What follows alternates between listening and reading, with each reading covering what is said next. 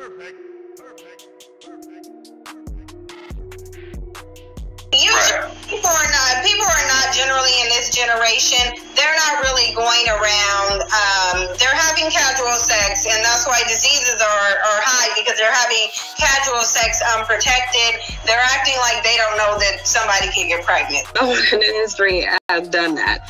What she's ultimately doing is she's putting she's putting out some text messaging, and granted, the things that are in the messages I did say, I would never go back on the stuff that I said. As a grown woman, I have no problem admitting to stuff that I said. I said some things out of anger during a, a certain time. And so what's going on is this is being framed in a certain way to basically say that I met a man, Rob, and within three months I chose to go get pregnant by him this is what is being said. Now, the thing of it is, is that this is not the case because, like I said, this person does not even know if I am currently pregnant because I have not spoken to her in a while. So she wouldn't know, she wouldn't be able to validate if I was still pregnant or not. She would not be able to do that because, again, I have not spoken to her. But I would not lie and say the text messages and the stuff that she's showing is not true because it is. And those things that are things that I've said, I said them in a certain context. That context is not being shown, of course, because when people want to show a certain narrative, they're going to show a certain narrative. So I'm being told that I'm a hypocrite. I'm being told that I've somehow chose a man is a dusty beta male. I understand that I said certain things and, and messages out of anger. And like I said, I don't have a choice but to take responsibility for that because I did say certain things. Now, do I think that this man is a beta male? Absolutely not. Did I meet him and then within three months decide and plan to be pregnant by him? Absolutely not. I certainly didn't do that. But there is a text message where obviously I did talk about some conversations that we had, and I did say that we had a conversation about that. And that's because I met him and spoke to him and learned that he was a very intelligent man. I liked his character. I still like his character. That's just a reality of what it is. I do not quantify him by the amount of children he has or the amount of women that he has them by because quite frankly he is the most active father i've ever seen in my life i've never met a man who was more i've never met one who was more active or involved I never met one who would do anything to make sure he's there to support his children. That's just the reality of what it is. And so, if people are quantifying somebody being a dusty beta male based on how many children they have with how many people, then they're going to call him a dusty beta male because they don't care about anything. They care about the fact that this man has children by more than one woman. So that's why they're quantifying him as a dusty beta male. I don't think he's a dusty beta male. I don't. I never saw him as a, as a dusty beta male. Again, like I said, this is a hardworking man who does whatever it takes for his children. Since I've been talking to him, has he inspired me to make personal changes? Absolutely. That's just the reality of what it is. He has. He is very intelligent and has inspired me to make certain uh, certain personal changes. Whether people see those changes or not doesn't negate the fact that he has, and that's why I continue dealing with him. And that's why I will continue to talk to him because he is a good man. That's just the reality. I don't sum him up by the children he has. To me, a dusty beta male would be a man who creates a bunch of children that he is not taking care of. 60 ounces senior for full grown woman is your business. Yeah, it is my business, but because of me confiding and, and discussing and disclosing personal information a person that I thought was my friend, now my business is all over YouTube and is being made YouTube fodder for people. The educated smoker said, Are you happy? I am. But the reality of it is this you, I still have people coming out here calling me a hypocrite saying that I chose to get pregnant by a man, the Sadusky beta male like the ones I talked to, and that's just not true. Taylor said, "I'm a happy, happy, absolutely." But I did. I said some things out of anger, and these are the things that she's showing. When everybody, people get mad, they say things out of anger, and I am not exempt from that.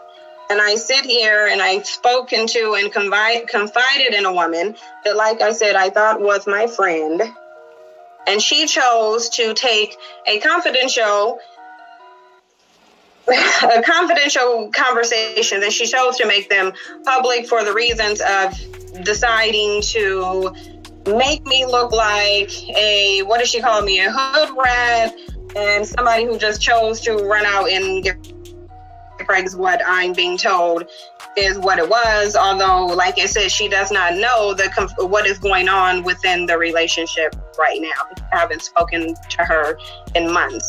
So the stuff that you guys have seen and that you eh, that you may see, these are things that, that are not recent. These took place in probably about October, November, and some discussions that again, like I said, I had with this woman because she was supposed to be my friend. She was supposed to have been my friend for the past two years, possibly more. That's just a reality.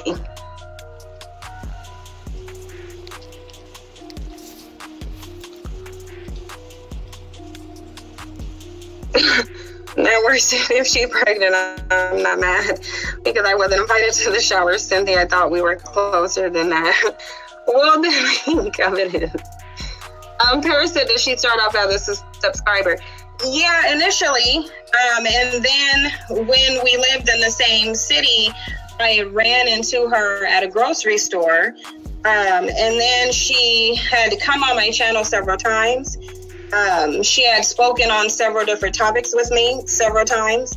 So that's how she became um, a friend. I've been talking to her, like I said, for nearly two years. So this was a clearly a mistake. I did not know that she would choose one day to come out and air my personal conversations. I didn't know that she would choose to do that. However, I did confide in her, so I have to take responsibility for the fact that I confided in someone that I trusted and thought was a friend. And clearly that was not the case. Joseph said, We are the choices we make, how we take responsibility for those choices. Um, oh, I lost your comment.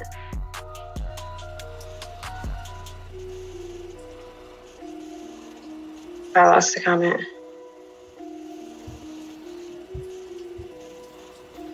It's a whole live stream going on about you right now, of course, and they will they will continue to make um, live streams. They they're going to because they, they now feel like they have some ammo to crucify me on and prove at first there was some notion about me being with a white man and being married to a white man. And now because it's not a white man they'll choose to um, go in on whatever avenues that they can.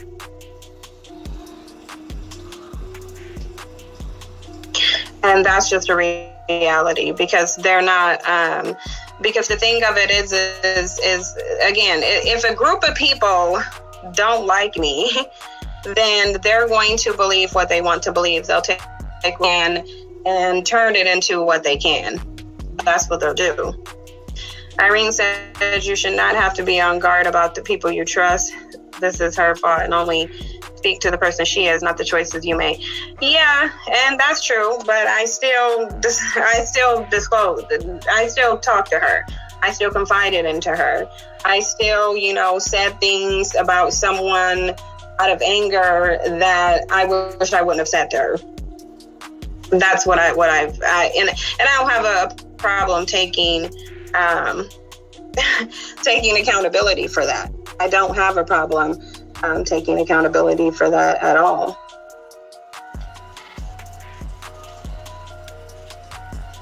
Kenny citizen, if you're happy, I'm happy." What I do. saying always be on guard of who you let in your circle. Yeah, and, and I'm learning that, and it's a it's a hard lesson to learn, but it's one um, that I'm learning. It's definitely um, a lesson that I'm learning, and I will continue to learn things. Now, as far as the stuff that they're saying, or why is she talking about beta males and all these other things? I've never, since I've been on YouTube, said all men were beta males, but I can I, I can see why they would they would ask that question. Of course, not knowing who this man is and not knowing him as a person and making him the sum of certain of who he has kids by and how many of them. And I simply don't think that that's the case. Again, to me, it would be more. I, I don't see what what the difference would be if If it was one man with one kid who chose not to take care of him, who wasn't a good father, who didn't want to do whatever it takes to make sure they're in their children's life and who wants to raise their children to be the best people that they could be. And that is a father that I think a lot of people should want.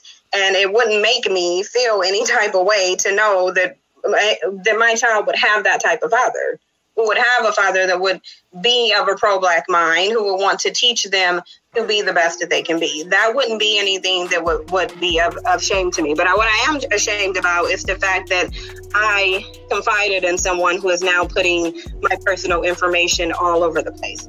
That's what I am worried, Matt. I am ashamed of that. What's up, y'all? I hope you did not forget to hit that subscribe button. Look, if you did, it's all good because I'm here to remind you. Go ahead and hit that subscribe button and turn on your notifications. Also, feel free to follow me on my other social media. I am at YouTube Stephannie on Instagram and at Lovey Debbie on Snapchat. Thanks for watching again. Bye, y'all.